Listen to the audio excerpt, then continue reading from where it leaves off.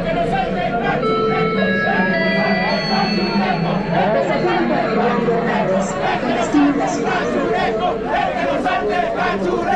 el que nos salte cachureco, el que nos salte cachureco. Bueno, señores, damas y caballeros, bienvenidos una vez más a uno de mis videos. Esta vez, pues me encuentro en la residencial San Ignacio, donde actualmente, pues, vive el expresidente Juan Orlando Hernández. Aquí hay fiesta, como pueden ver.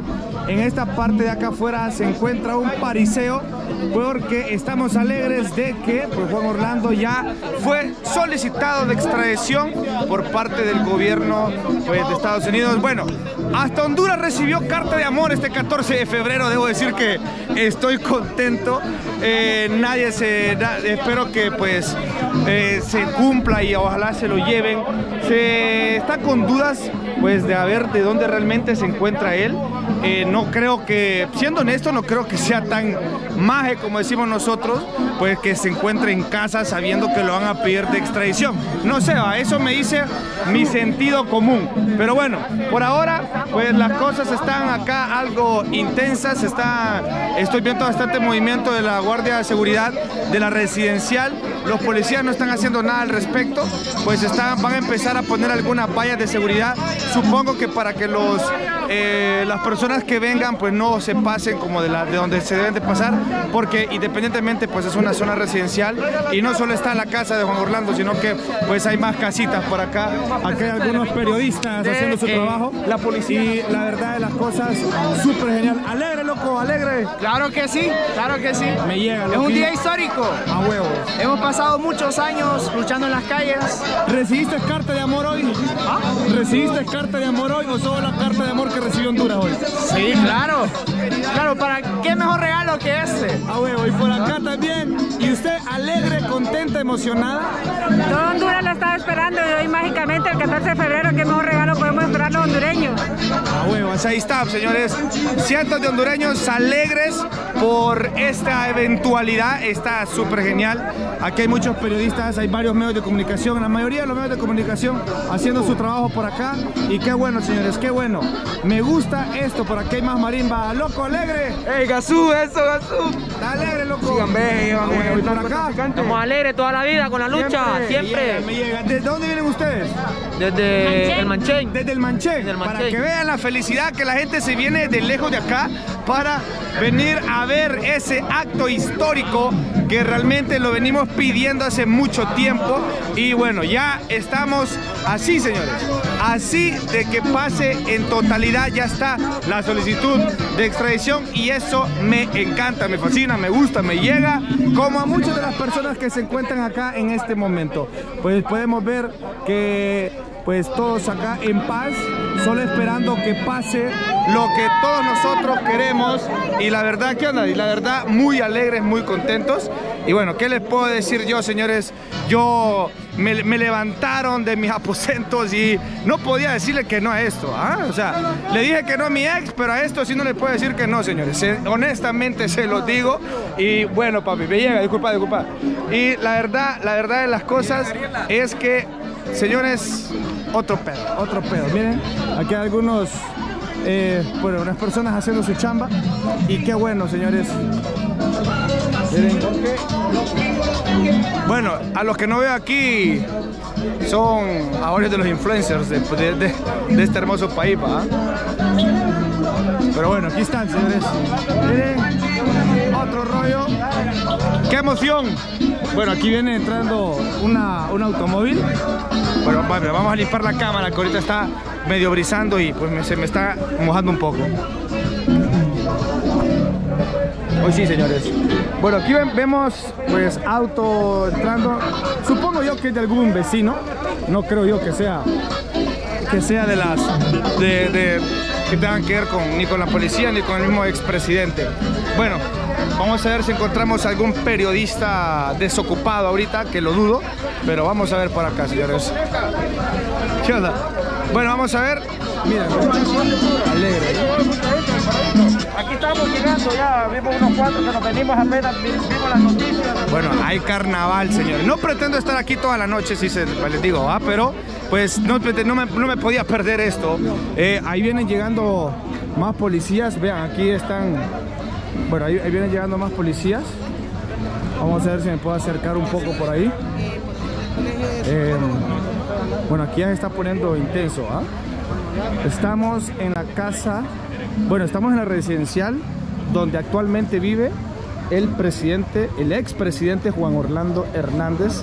Eh, como dato interesante, déjenme decirles que de los últimos cuatro presidentes cachurecos, a tres les han quitado la visa. Entonces como que, como que está interesante esto. ¿ah? La- los números hablan por sí solos. ¿Qué tal, amigo? Saludos, hombre. Soy Cheque, ¿qué tiene que- por ahí un saludo a la cámara en mi canal de YouTube? ¿eh? Un saludo para los para el público, los amigos de, de Gazú. A huevo, loco. Sí. Vean, obviamente vos estás más informado que yo al Vamos a respecto. ver, vamos a ver qué este, ¿Cómo ves todo este ambiente político, todo esto que está pasando ahorita, que por lo menos na- no- nadie lo esperaba, por lo menos hoy?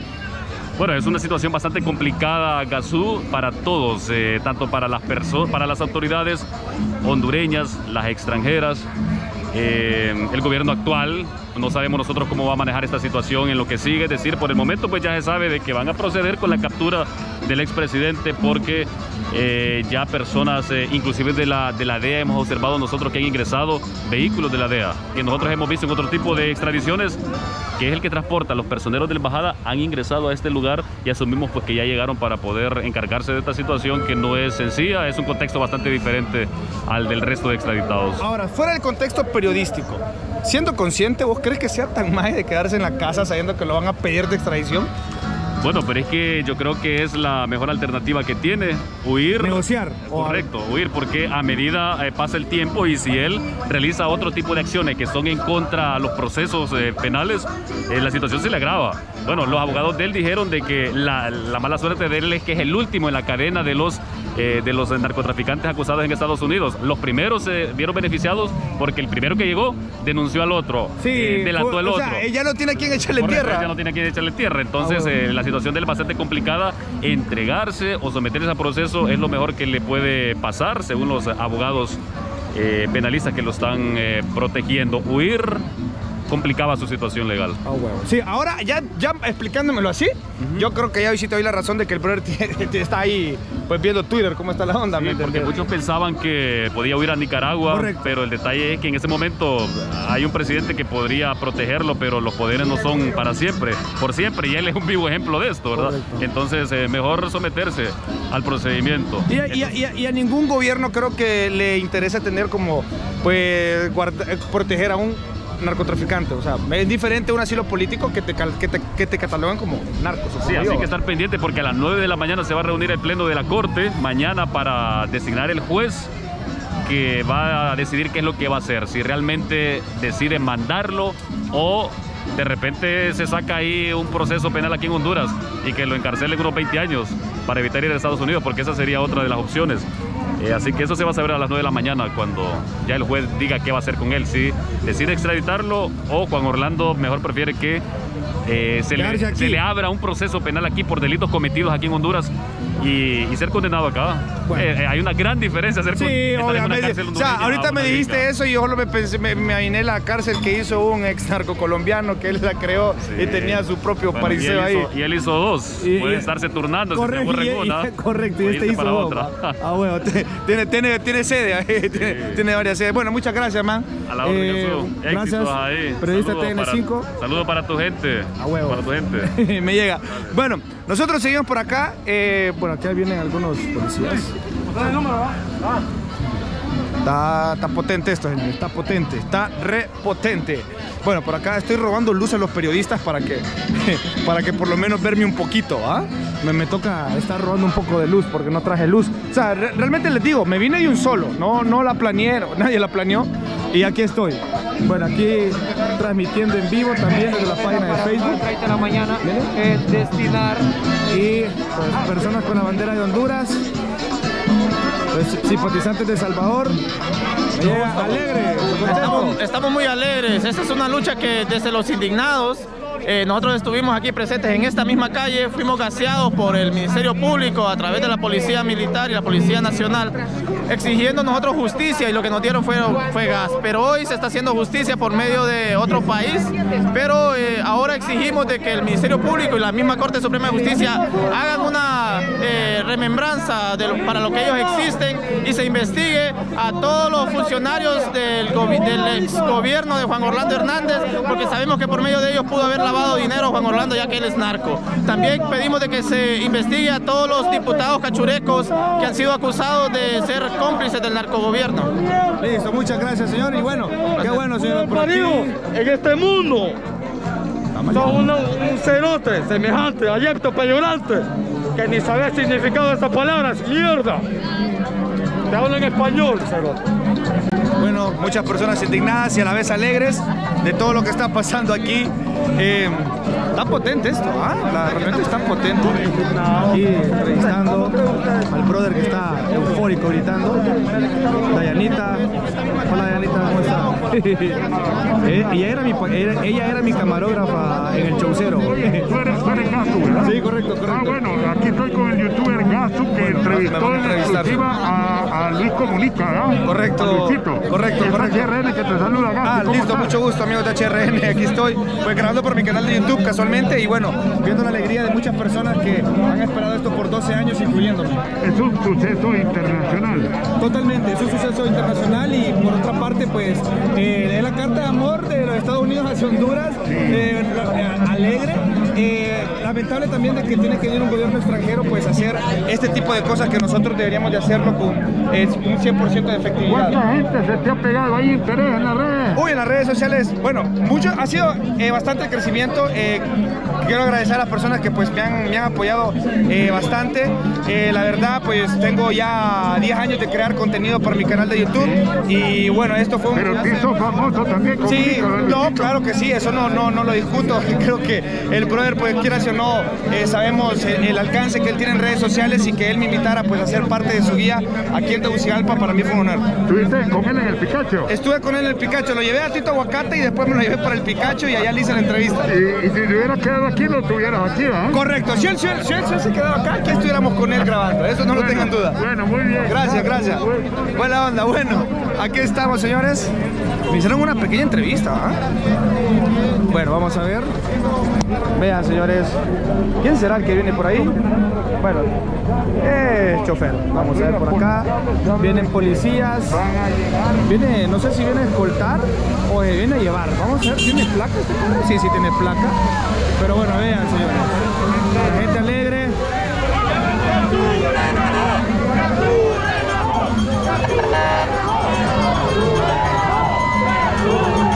La gente se encuentra gritando capturen a Jo. Señores, buenísimo. Tener que trasladar Vamos a ver. a. Está potente esto. Está potente, vean. Imagen épica esto, ¿ah? Ahora imposible que los policías le hagan algo a una bandera, a esta bandera de libre. Creo que los tiempos donde la policía gaseaba libre pues se quedaron atrás. Ahora no quedan más que respetar la bandera de un partido político que es el que actualmente tiene el poder presidencial.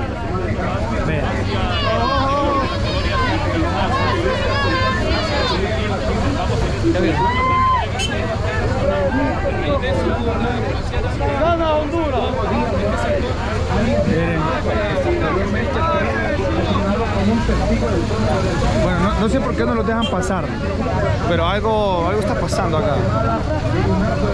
Muchas personas transmitiendo desde varios puntos de vista.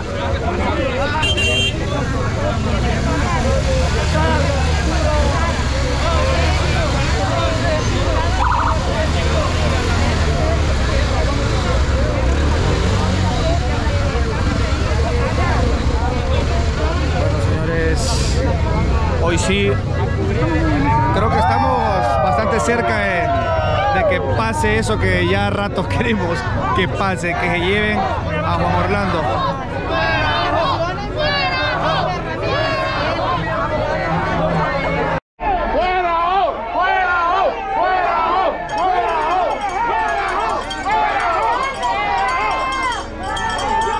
También se van a ir por imbéciles. ¿Cómo va a defender un corrupto? No defiendan a ese hijo de puta. Que lo entreguen.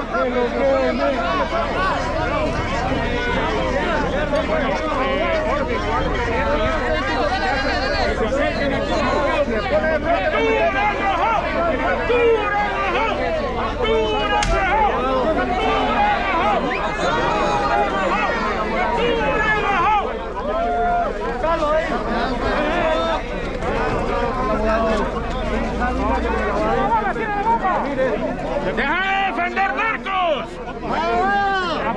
Ese pito que están apoyando ese hijo de puta es de la gente que mató de basura. Abogadillos mierdas. ¡Deja de defender narcos! Abogadillos delincuentes. Son unos delincuentes Lo que te están pagando es lo del pueblo hondureño, hijo de puta. Tener dignidad y entregarlo a mejor. Esos son los fondos del seguro social, de la pandemia, de los hospitales móviles, delincuentes. No les da vergüenza recibir dinero manchado de sangre del pueblo hondureño. ¡Dignidad, hijos de puta! ¡Mierderos! ¡El infante! ¡De David Chávez! ¿Dónde está el dinero? ¡Delincuentes! ¡Abogados! ¡Reciban billetes del pueblo! Bueno, señores, vinieron los abogados de Juan Orlando Hernández y no los, no los recibieron como quien dice, como que, como que los quieren aquí, ¿va?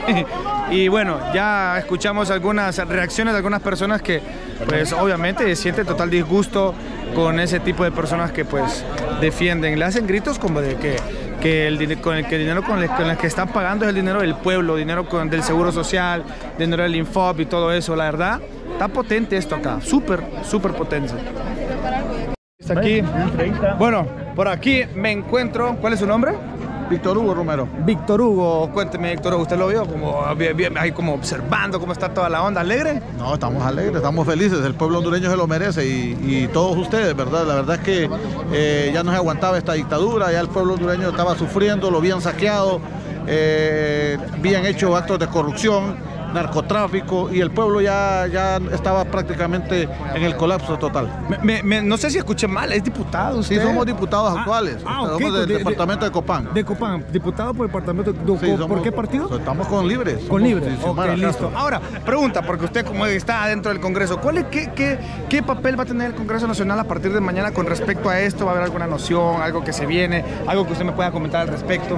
Eh, en cuanto a la extradición. ¿Sí? No, eso se estaba dado, eso era un, eso era una bomba de tiempo. La extradición de, de Juan Orlando Hernández, el pueblo hondureño lo sabía, los Estados Unidos sabían muy bien.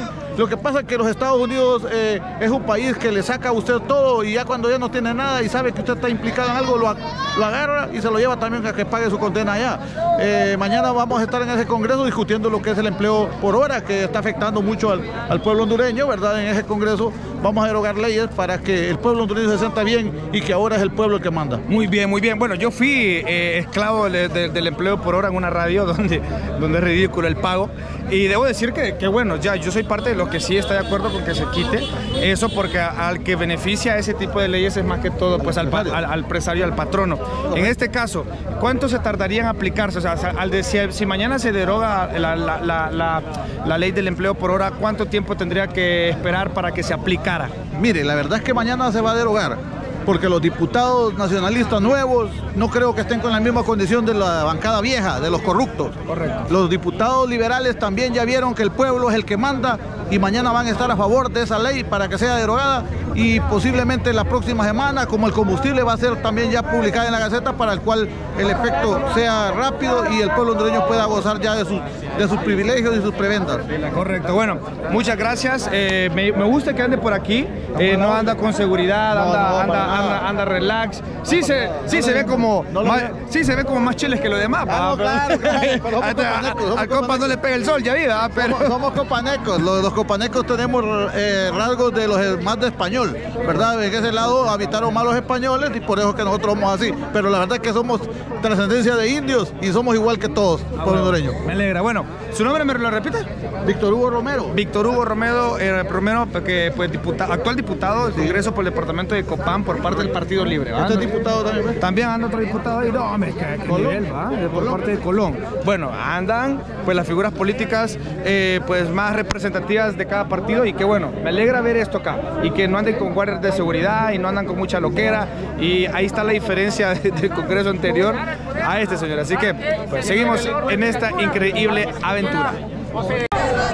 Yo me despido, este quiero decir que este video es corto, vine porque era necesario y aquí me encuentro pues en donde pues realmente muchas personas ahorita quisieran estar y la verdad estoy muy contento de estar acá y ver la alegría de muchas personas que están emocionadas porque por fin va a haber justicia después de 12 años acá en este país.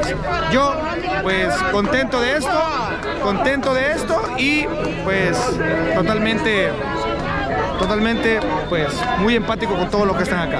Cuídense, los quiero mucho. Nos vemos en mi próximo video de YouTube. Perdonen la calidad, pero es que no hay luz, es de noche y pues me tengo que estar robando la luz de algunos de los periodistas que andan con sus cámaras para poderme ver más o menos. Ando sin los corochos al aire, entonces como que mucha gente no me conoce, pero ¿qué onda, qué onda? Hey, ¿qué onda? ¿Cómo está? ¿Todo suave?